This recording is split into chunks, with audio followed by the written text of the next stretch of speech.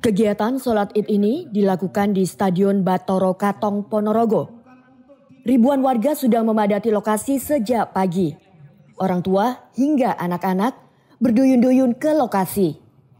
Meski berbeda dengan keputusan pemerintah, namun kegiatan yang digelar oleh pengurus Muhammadiyah Ponorogo ini berjalan dengan tertib.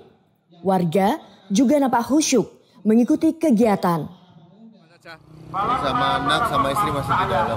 Sama keluarga? Ya gimana suasananya mas? Suasananya alhamdulillah ramai terus khidmat. Jadi mudah-mudahan hari ini Idul Adha semua bisa lancar korbannya juga lancar. Selain di stadion, sholat id juga dilakukan di kampus Unmu dan sejumlah masjid dan lapangan di kecamatan di Ponorogo. Kegiatan berlangsung dengan tertib dan lancar. Dari Ponorogo, Tim Liputan Garda TV.